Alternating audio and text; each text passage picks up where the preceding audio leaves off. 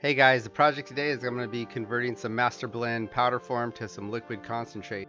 The goal here is to make uh, 25 gallons of pre-mixed concentrate in a 17 ounce bottle.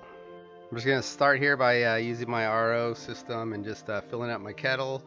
I'm just going to put some water in here and warm it up because it makes uh, dissolving the powder much easier. So here we go. Once the kettle is filled up with enough water, I just put it on the stove for a bit, just to get warm, not too hot. Alright, I'm going to make a couple labels for the uh, bottles. So, first one will be for the calcium nitrate. And I've already done the math on this, so it's basically 20 milliliters of the concentrate to one gallon of water.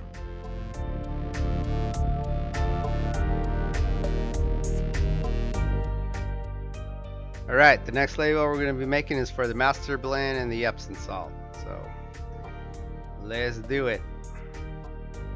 And again, I done the math on this and I'll explain it in detail coming up. But again, it's 20 milliliters of the concentrate to uh, one gallon of uh, water. Let's get this label on the bottle so we can move on.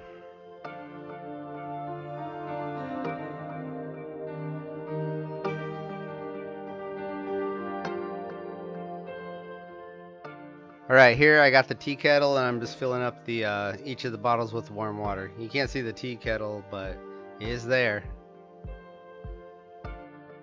And again, the warm water just makes it much easier for the powder to break down. So that's why I'm using it. And here I'm just going to label the caps. I'll put M and E on there for Master Blend and Epsom salt. Label the other one for uh, calcium nitrate. So it'll say C and N on there you know it's there.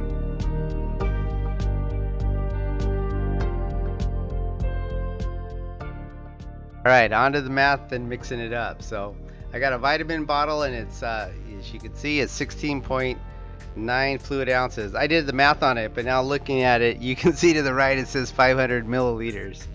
But anyways, it was already done for me. But you can see at the top, I wrote here 17 ounces. I looked on Google, it's 502 milliliters. As you can see, the Master Blend recipe calls for 12 grams of Master Blend for every 5 gallons of water. So I got a bag here, we'll grab it. You can take a look, here's the Master Blend bag. So 12 grams of that for every gallon or every 5 gallons of water. The calcium nitrate, the exact same thing. 12 grams for every uh, five gallons of water. So easy peasy. And then we got the Epsom salt, which that calls for six grams for every five gallons of water. And what I'm going to be mixing up is a 20, 25 gallons of concentrate that'll be in that uh, 17 ounce bottle. And we'll do the math here. Alright, as I explained above, you need uh, 12 grams of the Master Blend for every 5 gallons of water. You need 12 grams of the calcium nitrate for every 5, five gallons of water. So, so 5 gallons divided by 25 equals 5. So then we equal 5 times 12. That equals 60 grams of the uh, calcium nitrate and uh, 60 grams of the Master Blend. And then the Epsom salt, we need uh, six grams for every five gallons so we'll just times that by five. So six times five that would equal 30 grams. And this scale only measures up to a little over uh, 50 grams so I'll measure my 50 grams first. So I'll just go ahead and pour the uh, 50 grams of master blend in there. And shake it and mix it up and then pour the additional 10 grams and then I'll measure my uh, additional 10 grams to come up with my total of 60 grams of uh, Master Blend.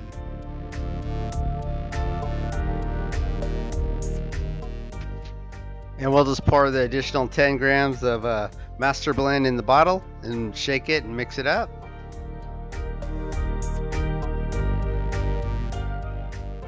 And now we're going to uh, add 30 grams of Epsom salt to the same bottle.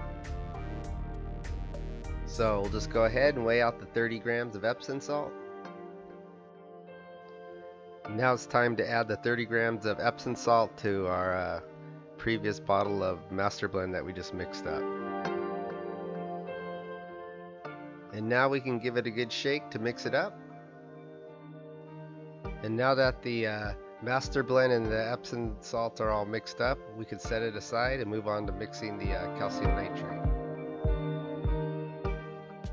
So we'll go ahead and just measure out the 60 grams of calcium nitrate. Now that we got it weighed out, it's time to add it to our calcium nitrate bottle. And once we're done adding the 60 grams of calcium nitrate, we can give it a good shake to mix it up.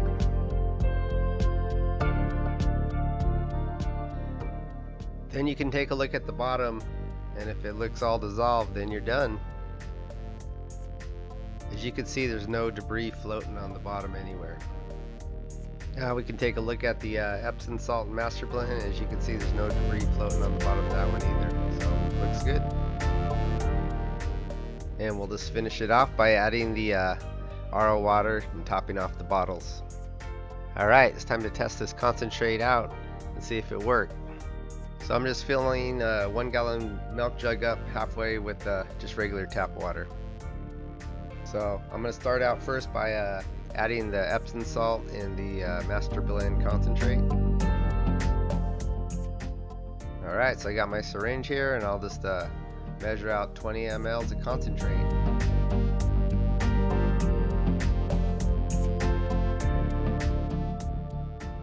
Then I'll go ahead and just add it to the uh, half gallon of water in that milk jug.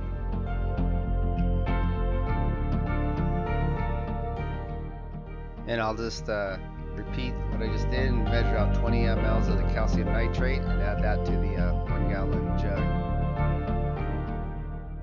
So we're almost finished here. We're just gonna top off the milk jug and then we can uh, put on the cap and give it a quick shake to mix it up. And now it's time to test the EC and see if it worked.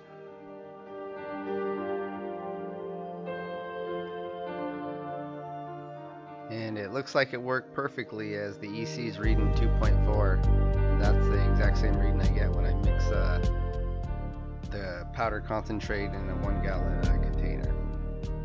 The beauty of this is it'll make uh, 25 gallons of a master blend hydroponic solution. And it's ready to go so I'll probably wrap these in foil as you don't want them exposed to light and just be sure to store them in a nice uh, cool dark spot. You should be good to go. And that's it till the next episode.